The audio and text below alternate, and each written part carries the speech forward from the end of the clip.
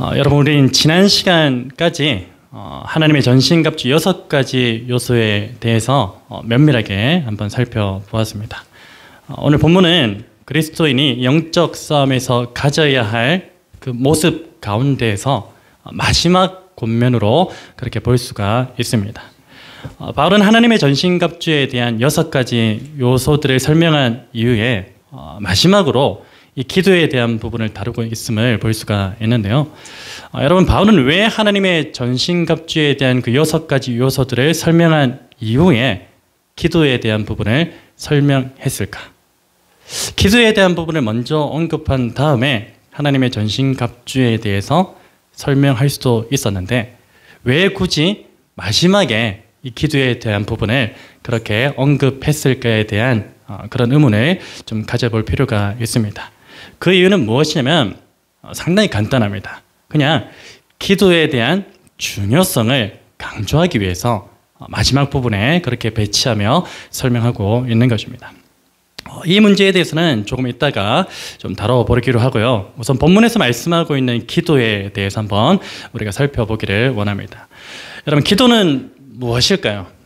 음, 우리가 뭐 기도에 대해서 뭐 정의를 내리려면은 뭐 여러 가지 그런 표현을 할 수가 있을 것입니다. 어, 우리는 기, 기도에 대해서 말할 때 여러 가지 수식어를 붙여서 이야기하기도 합니다. 어떤 수식어를 붙이냐면 기도는 영혼의 호흡이다. 혹은 기도는 하나님과의 교제다. 그리고 기도는 하나님의 뜻을 구하는 통로이다. 뭐 이런 어, 수식어를 붙여서 기도에 대해서 설명하기도 하는 것입니다. 이것 외에도 기도에는 다양한 수식어를 붙여서 설명이 가능할 것입니다. 어, 그러면 기도의 내용에 대한 범위는 그러면 어디까지일까? 어, 그것에 대해 우리가 또 좀 의문을 가질 필요가 있는데 기도의 내용에 대한 범위는 어디까지일까? 다시 말해서 우리가 기도할 때에 해도 되는 기도가 있고 하면 안 되는 기도가 있는 것인가? 그 부분에 대해서 우리는 좀 생각해 볼 필요가 있는 것입니다. 여러분, 여기에 대한 답은 무엇일까요? 여기에 대한 답은 이것입니다. 우리는 기도할 때 반드시 하나님의 성품 안에서 기도해야 한다는 것입니다. 기도할 때 어떻게 해야 된다고요? 하나님의 성품 안에서 기도해야 된다는 것입니다. 그러면 어떤 기도를 해야 되는지, 어떤 기도를 하지 말아야 되는지 이것이 분명하게 그렇게 밝혀질 수 있을 것입니다. 무슨 말인가 하면 그리스도인은 하나님의 형상대로 지음받은 그런 존재이죠. 그렇기 때문에 그 형상 안에서 우리 그리스도인은 반드시 선한 것만을 구해야 하는 것입니다. 만약 우리가 악한 것들을 구한다거나 그리고 악한 일을 도모하는 것들을 구한다면은 그것은 하나님께서 절대로 기뻐 받으시는 그런 기도가 되지 않을 것입니다. 우리 18절 시 작 부분 한번 보실까요? 18절 시작 부분 보시면 모든 기도와 간구를 하되 항상 무엇 안에서 성령 안에서 기도하라고 분명히 말씀하고 있습니다. 여러분 이것은 무엇을 말하는 것이냐면 그리스도인의 하나님께 모든 기도와 강구를 할 수 있지만 오직 누구 안에서 성령 안에서 곧 하나님의 성품 안에서 하나님께서 기뻐하시는 것들을 구해야 한다는 것을 말하고 있는 것입니다. 예를 들자면 우리가 평소 기도할 때 이런 기도를 해요. 우리 학생들이 이런 기도를 하죠. 하나님 공부 잘하게 해주세요. 좋은 성적 얻게 해주세요. 그리고 우리 부모 세대들 같은 경우에는 뭐 청년들이나 뭐 이런 기도할 법도 해요. 돈 많이 벌게 해주세요. 그리고 우리 노년들은 어떻습니까? 건강하게 해주세요. 좋은 대학 가게 해주세요. 좋은 것 취업하게 해주세요. 여러 가지 기도를 우리가 할 수는 있습니다. 그렇지만 그것이 정말 성령 안에서 구하는 기도인지 하나님께서 정말로 기뻐하시는 기도인지에 대해서는 우리 스스로 고찰해 볼 필요는 있다는 것입니다. 여러분 모든 기도와 간구를 하되 항상 성령 안에서 기도하라는 이 말은요. 곧 우리 예수님께서 산상보원을 통해서 하신 말씀과 같은 의미로 보아야 하는 것입니다. 상상, 산상보험 가운데 마태복음 6장 33절에 우리 주님께서 이런 말씀하셨어요. 그런즉 너희는 먼저 그의 나라와 그의 의를 구하라. 그리하면 이 모든 것을 너희에게 더하시리라. 여러분 우리는 이 말씀의 전후 문맥을 잘 알고 있습니다. 우리는 먹고 마시고 입는 문제에 대해서 구할 수 있습니다. 구하지 말라는 것이 아닙니다. 필히 구할 수 있습니다. 여러분 그런데 중요한 것은 우리가 먹고 마시고 입는 문제에 대해서 구하는 것은 그것은 예수 믿지 않는 사람들도 똑같이 구하고 소원하고 있는 것들이라는 것입니다. 그래서 예수 믿는 자들의 기도는 차별되어져야 됩니다. 세상에 믿지 않는 자들과 똑같은 구함과 소원을 가지고서 하나님 앞에 나아가서는 안 된다는 것입니다. 그래서 우리 같은 그리스도인은요, 기도의 우선순위를 무엇에 두어야 됩니까? 먹고 마시고 입는 그 문제에 두는 것이 아니라 먼저 하나님의 나라와 그분의 뜻을 구하는 것을 우선순위로 삼아야 한다는 것입니다. 여러분 간절히 바라는 것은요. 오늘 저와 여러분이 기도할 때에 무엇을 먹을까, 무엇을 마실까, 무엇을 입을까에 대한 그 기도가 주를 이루었다면 당장에 그 기도를 멈추시고 오직 하나님의 나라와 그분의 뜻을 먼저 구하시는 은혜가 있기를 우리 주님 여러분 축복합니다. 만약에 우리의 기도가 여전히 먹고 마시고 입는 문제에 머물러 있다면요. 당장이라도 우리의 기도의 포인트나 방향성이 바뀌어져야 됩니다. 앞으로 우리, 우리가 기도할 때는 어떻게 기도해야 됩니까? 무엇을 먹을까에 대한 것을 구하기 이전에 먼저 하나님 나라의 다음 세대인 우리의 자녀들이 하나님 앞에서 예수의 생명을 가진 자가 되도록 울며 기도해야 하는 것입니다. 그리고 우리는 무엇을 마실까에 대한 것을 구하기 이전에 먼저 나의 주변 가운데 죽어 있는 영혼들이 있다면 그 영혼들이 부활의 새 생명을 얻게 되기를 가슴 깊이 기도해야 하는 것입니다. 또한 우리는 무엇을 입을까에 대한 것을 구하기 이전에 먼저 예수 그리스도의 몸된 교회가 온전하게 그리고 굳건하게 잘 지어져 가고 있는지 부지런히 살피고요. 그리고 그것을 위해서 기도해야 된다는 사실을 우리는 절대로 잊어서는 안 될 것입니다. 여러분 사실 하나님께서는요. 우리가 무엇을 먹어야 할지, 무엇을 마셔야 할지, 그리고 무엇을 입어야 할지, 그리고 무엇보다 우리에게 무엇이 필요한지에 대해서 누구보다, 우리보다 더욱더 잘 알고 계시는 분이라는 사실을 잊지 마시기를 바랍니다. 마태복음 6장 30절에서 32절 말씀을 보시면요. 이런 말씀이 있습니다. 오늘 함께 찾아보실까요? 마태복음 6장 30절에서 32절 말씀입니다.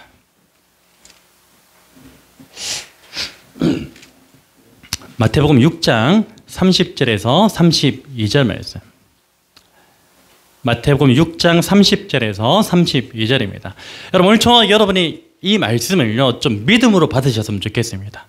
정말 내 삶 가운데 이 말씀이 그대로 작동되어지도록 믿음으로 받으시는 그런 은혜가 있었으면 좋겠습니다. 그 마음을 가지고서 이 말씀을 함께 선포하기를 원합니다. 함께 읽겠습니다. 시작. 오늘 있다가 내일 아궁이에 던져지는 들풀도 하나님이 이렇게 입히시거든.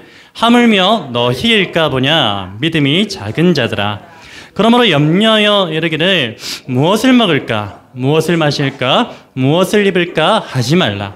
이는 다 이방인이 구하는 것이라. 너희 하늘 아버지께서 이 모든 것이 너희에게 있어야 할 줄을 아시느니라. 아멘. 여러분 간절히 바라기는 오늘 저와 여러분 모두가 예수님께서 하신 이 말씀에 대해서 온전한 믿음과 확신을 가지시는 은혜가 있었으면 좋겠습니다.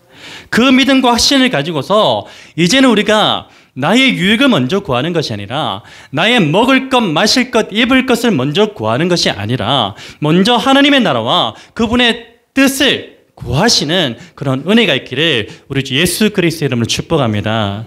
여러분 오늘 본문의 바울을 한번 보시길 바랍니다. 오늘 본문의 바울 역시도 먹고 마시고 입는 문제를 위해서 기도하기 이전에 먼저 무엇을 구했습니까? 하나님의 나라와 그분의 뜻을 구했음을 알 수가 있습니다. 우리 19절, 20절 말씀 같이 한번 읽어볼까요? 오늘 본문 19절, 20절 말씀입니다. 시작.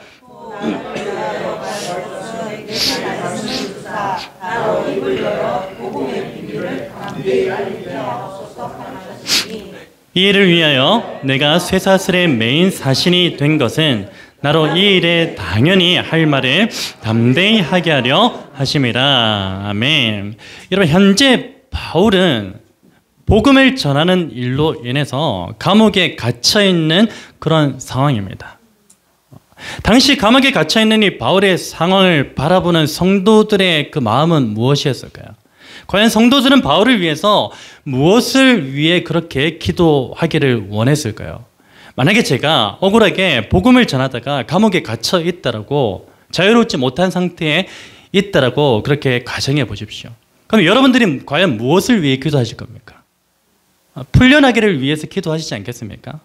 당장에 목사님 자유롭게 풀려나서 자유롭게 예배하고 자유롭게 하나님 말씀을 증가할 수 있도록 빨리 그 억압된 삶 속에 억압된 상황 가운데서 주님께서 풀어 주십시오. 그렇게 기도하지 않겠습니까? 에베소 성도들도 마찬가지였다는 것입니다. 에베소 성도들의 가장 첩제되는 기도의 제목이 바로 바울이 감옥에서 풀려나는 것이었습니다. 자유롭게 되는 것이었습니다. 여러분 그러나 바울을 보십시오. 바울은 이 성도들에게 중보 기도를 요청할 때에 자신이 감옥에서 풀려날 것에 대한 기도를 요청하지 않았습니다. 그렇게 기도를 요청할 법도 한데 그 기도는 절대 요청하지 않았습니다. 왜냐하면 이 바울은요, 자신이 감옥에 갇혀 있는 것이 곧 하나님의 나라와 그분의 뜻을 이루는 것임을 너무나도 잘 알고 있었기 때문입니다. 그 실제로 사도행전 27장에 가서 보시면은 로마 감옥으로 호송되고 있는 그 바울에게 하나님의 사자가 나타납니다. 하나님의 사자가 나타나서 바울에게 이런 말을 해요. 바울아, 두려워하지 말라. 네가 가이사 앞에 서야 하겠고, 가이사는 로마의 황제입니다. 하나님의 사자가 바울에게 나타나서 너가 곧 풀려날 거야. 그렇게 말씀하지 않았습니다. 바울아 두려워하지 마. 너는 감옥에 갇혀서 그렇게 자유롭지 못한 신분과 상황에 처해 있을 것이지만 두려워하지 마. 담대해. 왜냐하면 네가 네가 가지고 있는 그 복음을 가지고 가이사 초강대국인 로마의 황제 앞에 네가 서야 하기 때문이다. 그 말씀을 바울은 받았던 것입니다. 그래서 바울은 이미 자신이 가지고 있는 그 복음을 들고서 가이사 황제 앞에 서야 한다는 그 사실을 너무나 잘 알고 있었던 것이죠. 그래서 바울은 이 성도들에게 기도를 요청할 때에 자신이 감옥에서 감옥에서 이 복음의 비밀을 담대하게 전할 수 있도록 그것을 기도로 요청을 했던 것입니다. 이처럼 바울은요, 현재 자신이 처한 상황 가운데서 먹는 문제, 마시는 문제, 입는 문제를 구하기보다는 먼저 하나님의 나라와 그분의 뜻을 구했다는 사실을 우리는 너무나도 잘 알게 되는 것입니다. 여러분 오늘 본문에서 말씀하고 있는 기도에 대해서는 일부 이렇게 정리할 수 있을 것 같습니다. 기도는 나의 유익을 구하는 것이 아니라 오직 하나님의 나라와 그분의 뜻을 구하는 것이다. 그리고 나의 유익은 먼저 하나님의 나라와 그분의 뜻을 구할 때에 이미 일용할 양식으로 채워져 있다. 그렇게 기도에 대해서 정의할 수 있을 것입니다. 여러분 이것이 오늘 저 여러분이 여러분의 기도에 대한 신앙 고백이 되었으면 좋겠습니다. 나의 유익을 먼저 구하는 것이 아니라 하나님의 나라와 그분의 뜻을 먼저 구하고 그리고 그 나라와 그 뜻을 먼저 구했을 때 우리의 모든 삶에 필요한 것들을 이미 채워주시는 그 하나님. 그런 신앙 고백이 오늘 저와 여러분의 신앙 고백이 되었으면 좋겠다는 것입니다. 여러분 이제 처음으로 돌아가서요. 이 바울은 왜 하나님의 전신갑주를 설명한 이후에 기도에 대한 부분을 다뤘는지에 대해서 살펴보기를 원합니다. 여러분 그 이유에 대해서는 앞서 언급한 것처럼요. 기도의 중요성을 강조하기 위해서라고 말씀을 드렸습니다. 여러분 설교 서문에서 기도에 따라붙는 수식어에 대해서 제가 말씀을 드렸죠. 어떤 수식어가 따라붙었습니까? 기도는 영혼의 호흡이다. 기도는 하나님과의 교제다.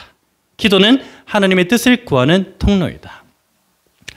저는 오늘 본문과 관련해서 이 기도에 대해서 설명할 때 이런 수식어를 붙였으면 합니다. 그게 오늘 말씀의 제목이기도 합니다. 무엇이죠? 기도는 영적 싸움의 원동력이다. 다시 한번 우리 믿음으로 선포할까요? 시작. 기도는 영적 싸움의 원동력이다. 아멘. 여러분 오늘 말씀의 제목만 봐도 바울이 그리스도인의 영적 싸움에 있어서 이 기도가 얼마나 중요한 요소로 생각했는지 알 수 있게 되는 것입니다. 18절 끝부분을 한번 보십시오. 18절 끝부분. 여러 성도를 위하여 구하라. 기도하라는 말이죠. 여러 성도를 위하여 기도하라. 여러분 기도는 나를 위해서 기도하는 것도 중요하지만 예수 그리스도 안에서 함께 지어져가는 그 지체를 위해서 기도하는 것 역시 중요하다는 사실을 잊어서는 안 됩니다. 여러분 바울은 왜 여러 성도를 위해서 기도해야 된다고 그렇게 말, 말했을까요? 그의 그 이유에 대해서는 오늘 기도가 지니고 있는 그 특성을 보면 잘 알 수가 있습니다. 기도가 지니고 있는 특성은 첫 번째는 무엇입니까? 기도는 우리로 하여금 깨어 있게 합니다. 다시요. 기도는 우리로 하여금 깨어 있게 한다. 그것이 기도가 지니고 있는 첫 번째 특성입니다. 여러분 성경은 기도에 대해서 말할 때 깨어 있다라는 이 단어와 함께 사용하는 것을 많이 볼 수가 있습니다. 기도하면 깨어 있다. 골로새서 골로새서 4장 2절 말씀 이런 말씀이 있어요. 기도를 계속하고 기도에 감사함으로 깨어 있으라. 기도와 깨어 있음이 분리된 것이 아니라 함께 붙어 있습니다. 마태복음 26장 41절에도 우리 주님이 이렇게 말씀하세요. 시험에 들지 않게 깨어 기도하라. 기도하는 것과 깨어 있는 것은 분리된 것이 아니라 함께 붙어 있습니다. 오늘 보면 18절에도 마찬가지입니다. 이를 위하여 깨어 구하기를 항상 힘쓰며 기도와 깨어 있음은 뗄래야 뗄 수 없는 관계에 있음을 보여주는 것이죠.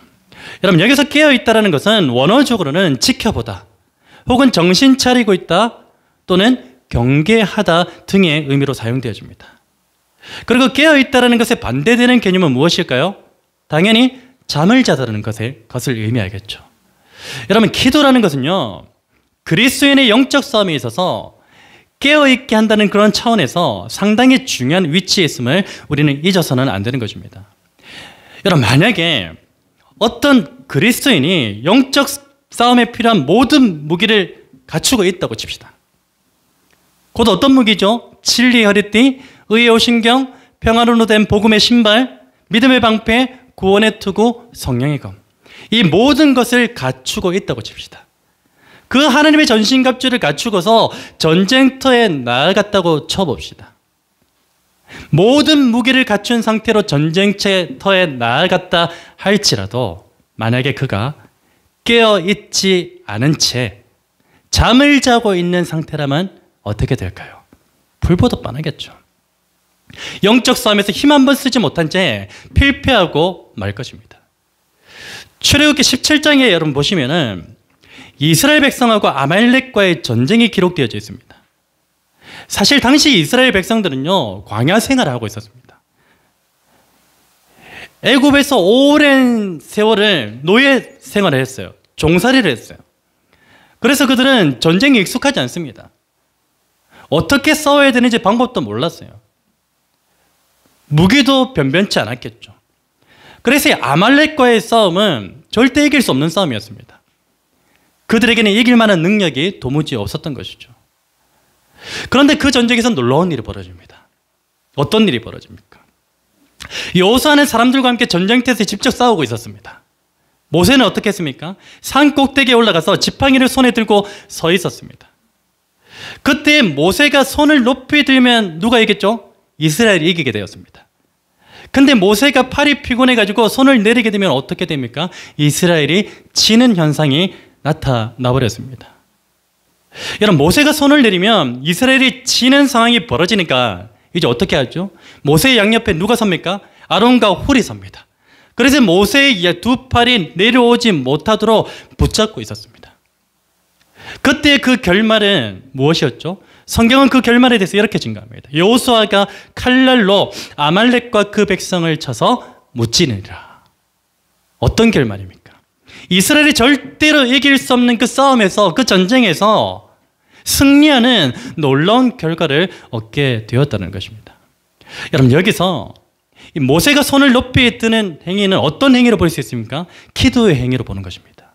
기도의 행위로 보는 것이 일반적입니다. 그런 의미로 볼 때 이 아말렉과의 전쟁에서 승리를 가져다 준 것은 이스라엘이 잘나서입니까? 이스라엘이 전략이 좋아서입니까? 이스라엘이 어떤 무기가 좋아서입니까? 개인의 능력이 뛰어나, 뛰어나서입니까? 그것 때문이 아닙니다.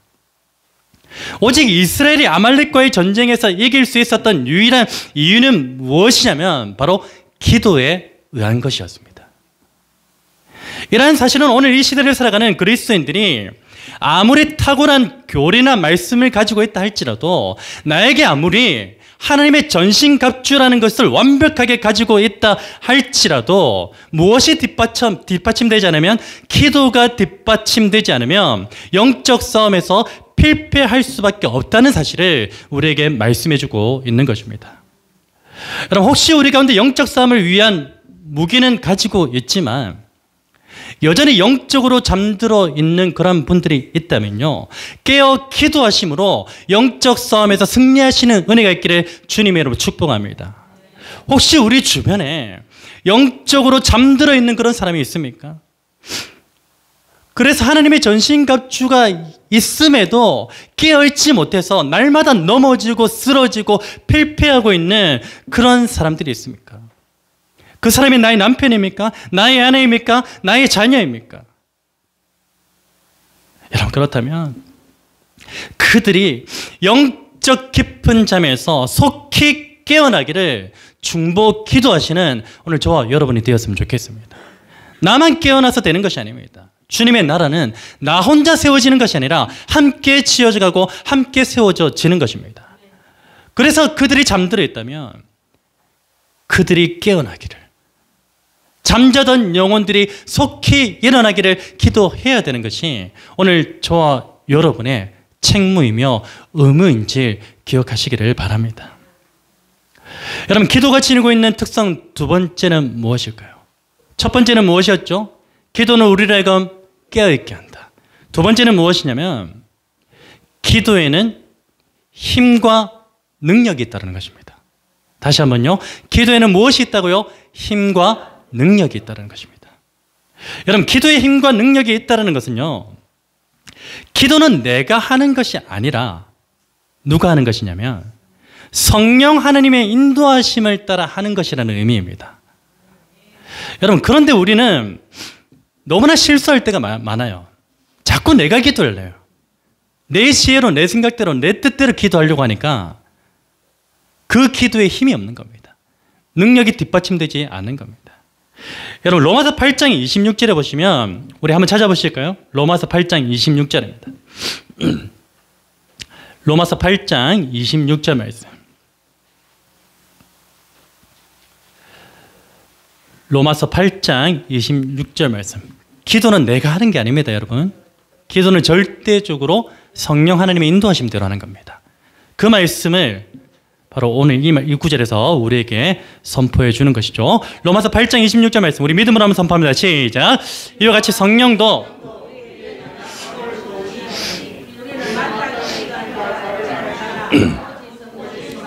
말할 수 없는 단식으로 우리를 위하여 친히 간구하시느니라. 아멘. 기도는 누가 하는 것입니까? 성령께서 하는 것입니다. 내가 하는 게 아니에요. 오늘 본문 18절 역시 기도에 대해 무엇이라고 말씀하고 있습니까? 모든 기도와 간구를 하되 항상 누구 안에서 성령 안에서 기도하라고 분명하게 말씀하고 있습니다. 기도는 내가 하는 것이 아닙니다. 기도는 성령께서 하는 것이고 성령의 인도하심대로 하는 것이 기도이며 그 기도의 힘과 능력이 있다는 것입니다. 여러분 기도의 주체는 절대로 내가 될 수 없습니다. 그리고 기도의 주체는 내가 되어서도 안 된다는 사실을 반드시 기억하시기를 바랍니다. 여러분, 오늘 저와 여러분이 기도할 때 내 생각대로, 내 뜻대로, 내 정욕대로 기도한다면 과연 그 기도 가운데 힘과 능력이 나타날까요? 그렇지 않습니다. 그 어떤 힘도, 그 어떤 능력도 나타나지 않을 것입니다. 100%입니다.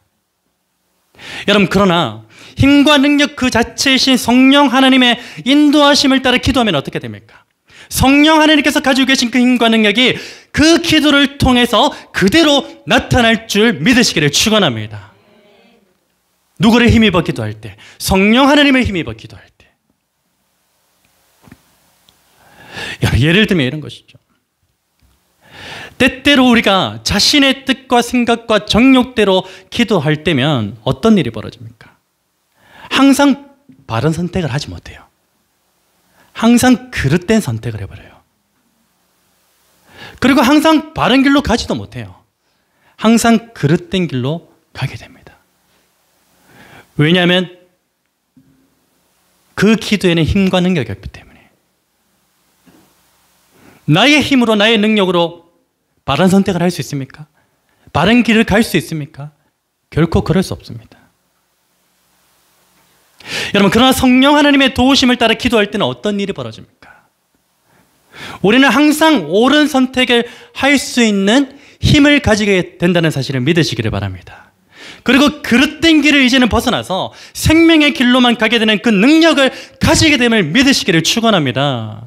여러분 오늘 저와 여러분 모두가 이 성령 하나님의 인도하심을 따라 기도하심으로써 항상 선하고 바른 선택을 하게 되시고 그릇된 길이 아니라 생명의 길로만 가게 되는 힘과 능력을 소유하시는 은혜가 있기를 우리 주 예수 그리스도의 이름으로 축원합니다. 여러분 또한 기도는요. 하나님의 전신갑주와 관련해서 우리에게 어떤 힘과 능력이 되는 것입니까? 바로 하나님의 전신갑주를 착용할 수 있는 힘의 원동력이 됩니다. 우리는 때때로 착각할 때가 있어요. 오, 진리, 의, 평안의 복음, 구원의 투구, 믿음. 내 힘으로 착용할 수 있는 것 아니야. 그래서 기도 없이 하루를 영적 싸움의 전쟁터로 나가는 경우가 너무나 많다는 것입니다.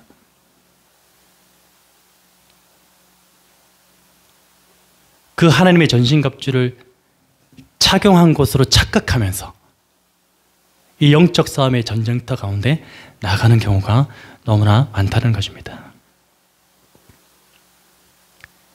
여러분, 누군가 아무리 뛰어난 성능을 자랑하는 값비싼 가전기기를 소유하고 있다 할지라도 그 가전기기 가운데 전기라는 에너지 공급이 이루어지지 않는다면 어떻게 됩니까?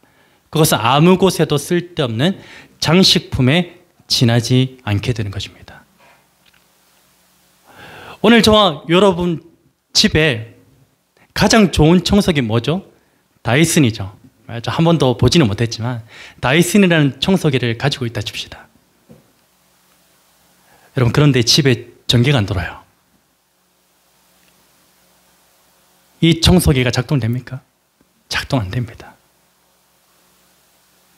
마찬가지로 아무리 내가 영적 싸움에서 내세울 만한 그 하나님의 전신갑주를 가지고 있다 할지라도 이 기도라는 원동력을 받지 못한다면 우리가 가지고 있는 하나님의 전신갑주는 그저 박물관에 전시된 전시품에 지나지 않는다는 사실을 반드시 기억하시기를 바랍니다. 여러분 또한, 또한 누군가 전쟁에서 착용할 여러 가지 무기가 있다 할지라도 그것을 착용하거나 들 수 있는 힘이 없다면 어떻게 될까요? 그 무기는 있으나 마나 무용치물에 지나지 않을 것입니다. 마찬가지로 아무리 내가 영적 싸움에 착용할 하나님의 전신갑주가 있다 할지라도 그것을 착용할 만한 힘이 없다면 그 무기를 들 만한 힘이 없다면 하나님의 전신갑주는 아무런 소용이 없게 되는 것입니다. 그런 의미에서 이 기도라는 것은 하나님의 전신갑주를 착용할 수 있는 힘의 원동력이 된다는 것입니다. 여러분, 기도 없는 인생이 얼마나 아찔한 인생인지 아시겠죠? 나 하나님의 전신갑주를 입었으라고 착각하며 이 세상의 영적 싸움 가운데 나아갈 때가 너무나 많습니다. 기도하지 않고서 세상을 나아가는 게 그, 바로 그 모습이에요. 기도의 원동력을 받아야지 그 힘과 능력으로 진리의 허리띠든 구원의 투구든 성령의 검이든 착용할 거잖아요. 들 수 있을 거잖아요. 들 수 있는 힘이 없는데 어떻게 하나님의 전신갑주를 착용한다는 말입니까? 여러분 왜 사도 바울이 하나님의 전신갑주를 다 설명한 다음에 왜 마지막으로 기도에 대해서 설명한 줄 아시겠습니까? 기도가 정말로 중요하다는 것입니다. 하나님의 전신갑주를 입는 것도 중요하지만 그 전신갑주를 입을 만한 힘과 능력이 없다면 기도가 없다면 우리는 이 세상 가운데 백전백패할 수밖에 없는 연약한 존재임을 반드시 기억해야 될 것입니다.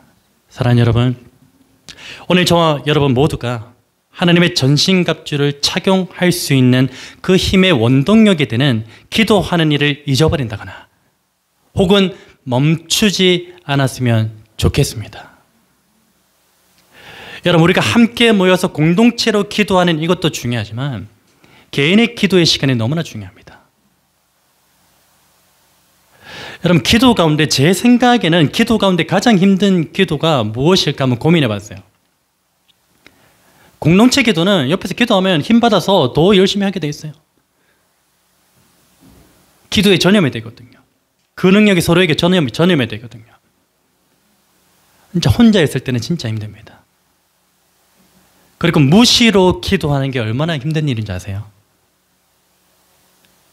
항상 깨어 있을 수는 없지만 시시때때로 우리는 무시로 하나님을 기억해야 되고 하나님께 기도해야 되고 내 삶의 원동력이 기도에 있다는 그 사실을 믿기 때문에 날마다 우리는 기도하는 것이죠. 저는 샤워할 때도 기도합니다. 그게 습관이 되었어요. 자기 전에 일어나서 기도합니다. 걸어가면서 차 타면서도 기도해요. 그게 습관이 되었어요. 여러분, 습관은 곧 능력이 됨을 믿으시기를 축원합니다. 그 습관을 가지셨으면 좋겠습니다. 그런 기도의 능력을 소유한 한 사람 한 사람이 이 공동체에 모여서 함께 합심하여서 기도한다면 어떤 일이 벌어질까요? 놀라운 일이 벌어질 줄로 믿습니다. 이스라엘이 절대로 아말렉과의 전쟁에서 이길 수 없었는데 이기게 되는 놀라운 역사가 함께 지어져가는 교회 안에서도 일어나게 될 줄로 믿습니다. 여러분의 가정교회도 그런 역사가 일어나게 될 줄로 믿습니다. 어떤 원동력을 취할 때 기도라는 능력의 원동력을 취할 때요. 여러분 그래서 우리 모두가 이 기도의 능력을 힘입어서 기도가 가지고 있는 하나님의 전신갑주를 영적 싸움에서 잘 활용하셔서 날마다 승리의 기쁨을 맛보시는 은혜가 있기를 우리 주 예수 그리스도 이름으로 축원합니다. 여러분 한 가지만 기억하십시오. 기도하면 역사는 반드시 일어난다. 믿으십니까? 기도하지 않으면 역사는 일어나지 않습니다. 그러나 기도하면 반드시 역사는 일어납니다.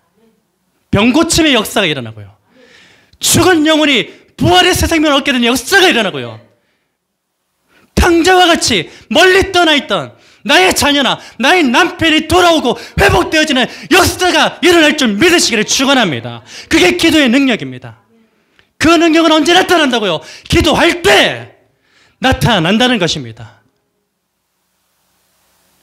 이 사실을 믿으신다면 무시로 기도하십시오. 간절하게 하나님 앞에 기도하십시오.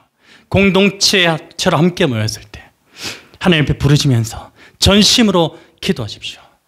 그때 비로소 하나님의 나라는 주님의 몸된 교회는 여러분의 가정 교회는 주님께서 기뻐하시는 교회로 온전하게 굳건하게 세워줄 줄로 믿습니다. 이 믿음 가지고서 이 한 주를 담대하게 살아가시는 저와 여러분 복된 인생 되시기를 우리 예수 그리스도 이름으로 축원합니다.